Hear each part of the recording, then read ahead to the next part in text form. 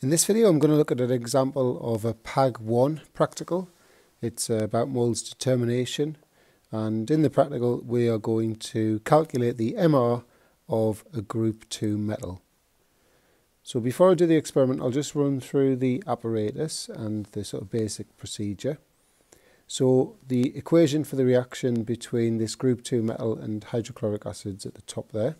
So you can see that the reaction produces hydrogen gas. So the apparatus setup's fairly simple. We're just going to place some excess hydrochloric acid and a measured amount of X into a conical flask. We're going to fit um, a delivery tube via a bung and we're going to collect over water the hydrogen gas that's produced by the reaction. And what that's going to do is it's going to displace the water out of a measuring cylinder, an upside down measuring cylinder, it's going to displace the water out of there and replace it with hydrogen.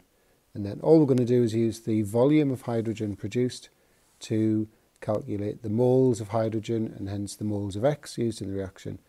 And from that we can get the MR of X. Okay, so I've just measured out that 50 cm cubed of its 1 mole per decimeter cubed hydrochloric acid. Remember that's an excess of the acid and in the little plastic weigh boat there I've got 0.21 grams of the metal X. Okay, so I'll just run through the um, basic procedure. So we've got this washing up bowl here full of tap water and we've got an upturned 250 cm cube measuring cylinder here. This is full of water. Um, hopefully you can see the delivery tube is going into the bottom of the upturned measuring cylinder Obviously there's the other end there. My conical flask with the excess acids sitting waiting here. So when I'm ready, I'm just going to put the metal X into the excess acid as quickly as possible, fit the rubber bung so I don't lose any gas. And we're just going to collect the gas um, that comes off the reaction. Okay, so here we go. Very, very quickly,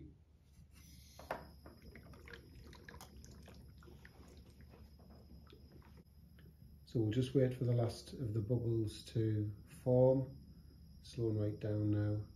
So I'm just going to read the measuring cylinder now with the gas in. Remember this is hydrogen gas.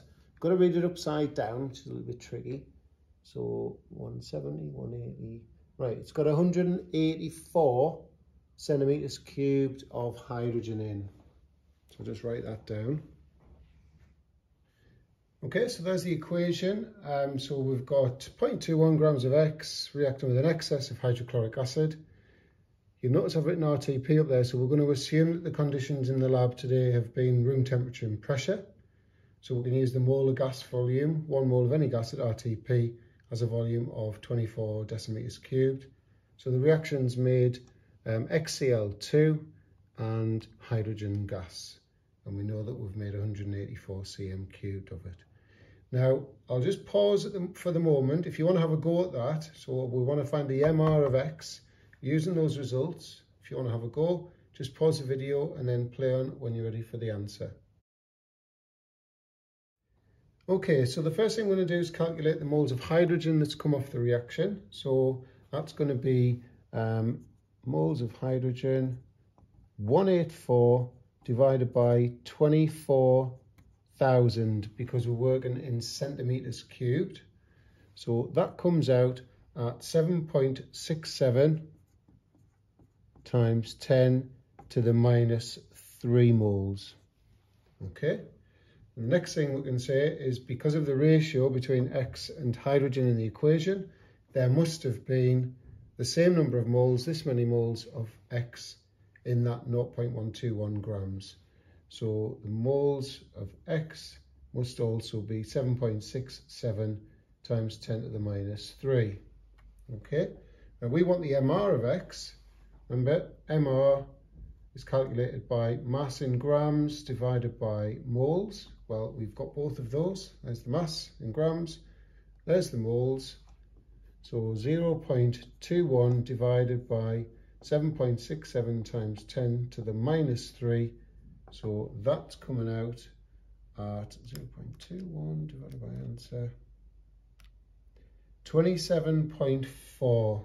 27.39130, 27.4 grams per mole if you want. So the MR of X from our results is 27.4. So which member of group 2 must X be? Now there isn't a member of group 2 that has exactly that as its MR, but the closest match, we'd have to go on the closest match, is magnesium. Okay, so you'd have to say therefore X equals magnesium. So if I just bring the chemical bottle, so that's X. If I just rotate it, hopefully you can see it was indeed magnesium.